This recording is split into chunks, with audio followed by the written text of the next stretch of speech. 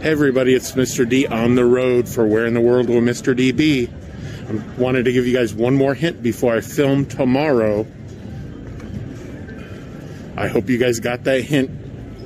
And I will be filming at a huge fountain in a state out west. The state's capital is Reno. So do some research. Think about where I'll be. I'll be at a big fountain. Now I'm wearing my face mask, I'm socially distancing, and I will be self quarantining when I get back in town. So I'm following all the COVID rules and guidelines. So make sure you guys are doing the same.